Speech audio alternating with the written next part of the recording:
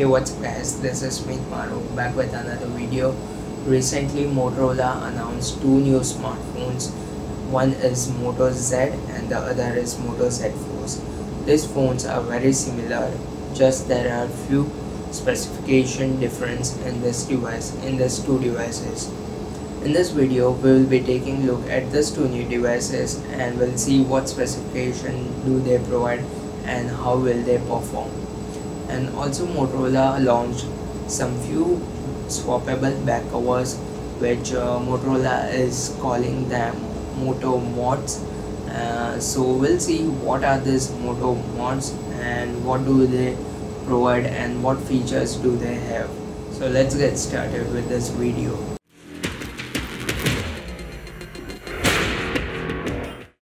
So after Moto X and Moto X Force, Motorola has brought Moto Z and Moto Z Force. First we'll take a look at the Moto Z. Let's start with the display first. We have 5.5 inch AMOLED display with a resolution of 1440 by 2560 pixels and has a pixel density of 535 ppi. It has the Corning Gorilla Glass 4 and the display looks really very beautiful and the colors are bright and vibrant Next we have is storage. Moto Z comes in 32 and 64 gigabyte variants and has a 4 GB of RAM. Also this device comes with micro SD card slot where you can insert memory card up to 256 gigabytes. Next we'll talk about is the design. Moto Z comes with metal design all around and is the slimmest phone right now available in the market. It is so slim and thin that it lacks a 3.5mm headphone jack. Now that's the question how will you use your headphones or earphones to hear music? Well, you would be able to use it via USB Type-C port. You don't have to buy special earphones for USB Type-C. You can use your standard earphones with using a connector from USB Type-C to 3.5mm headphone jack and this connector will be provided by Motorola in the box when you purchase the device. Though they have made the device thin, we have the camera hump on the back and you don't have to worry about as it will get covered by the Moto mods uh, when you put them on your Moto Z. The weight of the slim device is 136 grams. To the left of the device we have volume buttons and below it we have the power button to the right we have nothing. To the bottom we have a USB type C port. And to the top we have the noise cancellation microphone and the SIM card tray. To the front of the device we have a notification LED light microphone sensors a fingerprint scanner and a 5 megapixel front facing camera with LED flashlight. To the back we have 13 megapixel rear facing camera with dual tone LED flashlight on the battery side, Moto Z comes with 2600 mAh non-removable battery and on the software side Moto Z comes with Android 6.0.1 Marshmallow. It has Qualcomm Snapdragon 820 chipset with dual core 2.15 GHz and 1.5 GHz Kryo CPU and has Adreno 530 GPU. So now let's talk about the camera. Moto Z comes with 13 megapixel rear facing camera with f1.8 aperture. It has laser autofocus, optical image stabilization and dual tone LED flashlight. This 13 megapixel camera can record 2160p video at 30 frames per second and 1080p video at 60 frames per second and has face detection touch focus and HDR mode. On the front side, Moto Z comes with 5 megapixel camera with f2.2 aperture and also has front facing LED flashlight. This front facing camera can record 1080p video.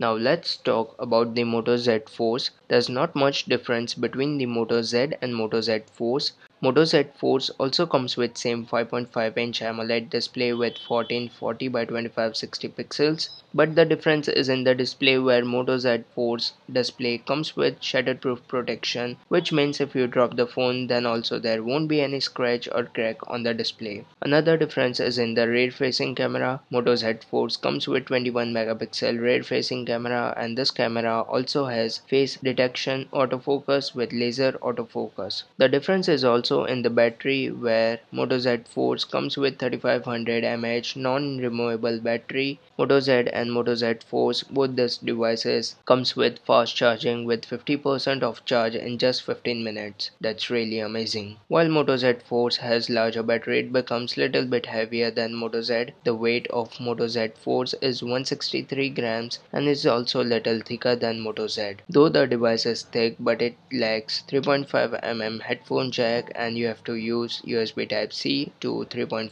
mm connector.